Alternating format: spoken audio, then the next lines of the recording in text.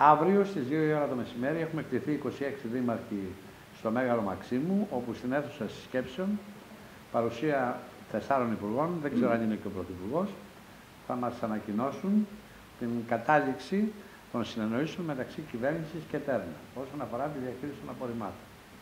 Εμείς έχουμε πάρει μια απόφαση εδώ ως Δημοτικό Συμβούλιο. Την απόφαση αυτή θα υποστηρίξω. Καταλαβαίνετε όμως ότι είναι ένα θέμα που αφορά και τους 26 Δήμους.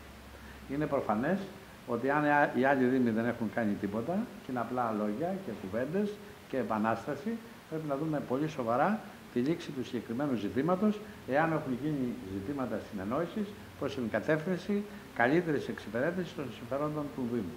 Μετά από 30 χρόνια, μια ιστορία η οποία έχει οδηγήσει σε αδιέξοδο την Πελοπόννησο πρέπει επιτέλους να τελειώσει.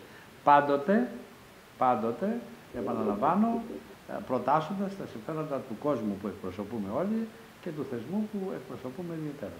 Εγώ θα υποστηρίξω τη θέση του Δήμου, θα ακούσω και τους άλλους δημάρχους και προφανώς θα, θα μας ανακοινωθεί και η θέση της κυβέρνησης. Σε κάθε ε, περίπτωση, εγώ θα προσπαθήσω να συμβάλλω ώστε να κινηθούμε ενωτικά.